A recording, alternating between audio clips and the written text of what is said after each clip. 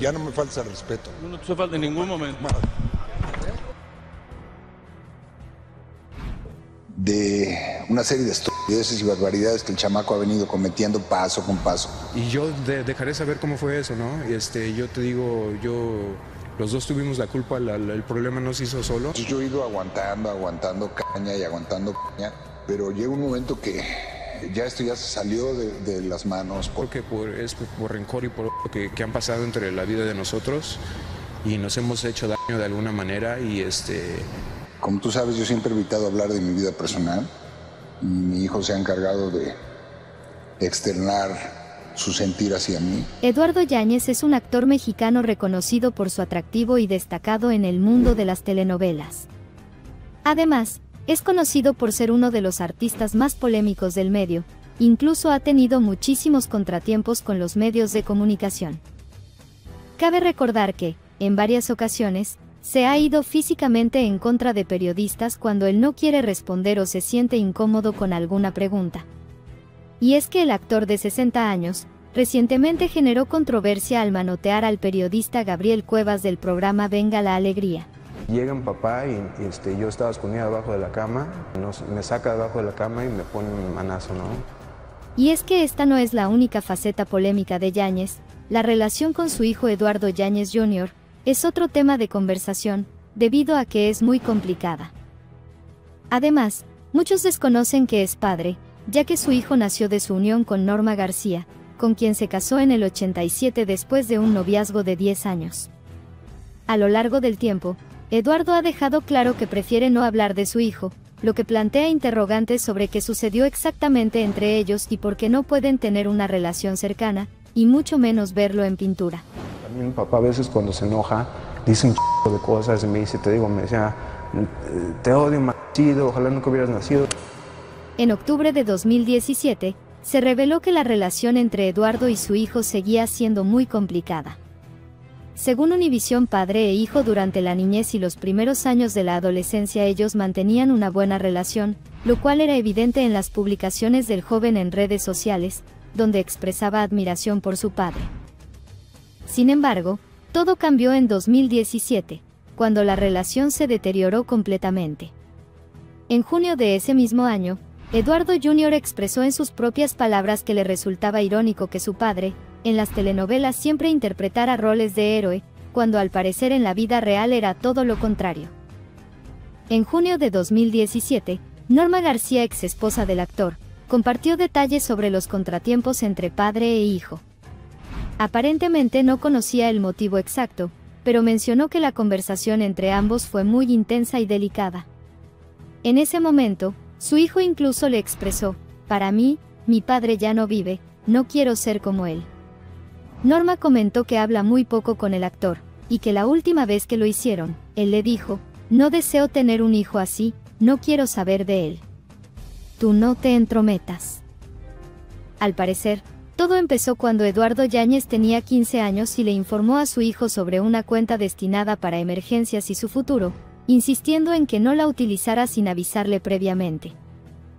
No obstante, Eduardo Jr. utilizó alrededor de 15 mil dólares de los ahorros de su padre y argumentó que en ese momento, con 15 años, no sabía cómo administrar el dinero ni cómo vivir en Estados Unidos. Durante la misma entrevista, el joven afirmó que el actor le había asegurado que le ayudaría a ingresar al mundo artístico, pero no cumplió con su palabra. En noviembre de 2018, el actor admitió que fue a partir de este incidente que surgieron los contratiempos con su hijo. Eduardo expresó que se había sentido decepcionado de muchas maneras y que había perdido la confianza en él, subrayando que recuperar la confianza es un proceso complicado, pero perderla es muy sencillo. ¿Decía a su propio hijo? Eduardo Yáñez sorprende en Televisa con una confesión impactante. El afamado galán de las telenovelas de Tele Televisa, Eduardo Yáñez, se sinceró nuevamente acerca de su complicada relación con su único vástago, Eduardo Yáñez Jr. Durante una entrevista con Aurora Valle que dejó a todos atónitos. El icónico protagonista de telenovelas como Destilando Amor compartió una revelación inesperada y cruda. Hicimos un mal manejo en cuestión de mercadotecnia con el producto. Por su mala imagen, Eduardo Yáñez acaba de perder 4 millones de pesos por su negocio. Este ya se fue completamente a la basura y no le quedó de otra, más que echarle la responsabilidad a todo el público menos a él. Y el resultado de eso es ventas muy bajas. Algunos internautas aseguran que por la mala actitud del actor, su mal carácter, falta de educación y pedantería, lo pondrán en la quiebra rápidamente. Esto ya no se trata de que varios productores no le den trabajo al actor, sino que él solito se está aventando al bote de basura, porque su mala reputación se salió de los foros de televisión. Nos costaba más caro mandar por correo las piezas. Pues bueno, no resultó el, el chistecito. Eduardo Yáñez fue uno de los primeros actores mexicanos en irse a Hollywood, a tocar puertas, dejando atrás su carrera en México. Pero después él por alguna razón tomó la decisión de vender overoles de gamuza y mezclilla, una prenda que inicialmente fue creada para los obreros. Algún día la abriré una vez más, quizá en otras condiciones. El que compartió créditos en Destilando Amor junto con la ex primera dama Angélica Rivera, no supo cómo calificar el cierre de su negocio, aunque se dice que fue su socia, la colombiana Joana Ardilla, quien le dijo que debido a la falta de buena publicidad, su producto no se vendió. Los contratiempos que ha tenido Eduardo Yáñez a lo largo de los años también hicieron que absolutamente nadie quisiera comprarles. Se dice que Eduardo por supuesto se justificó, negando que esto hubiese sido cierto. Él dijo que todo había ido mal porque las prendas se fabricaban en Colombia. Los envíos estando allá salían muy muy caros, según Joana, quien es la diseñadora y encargada del taller.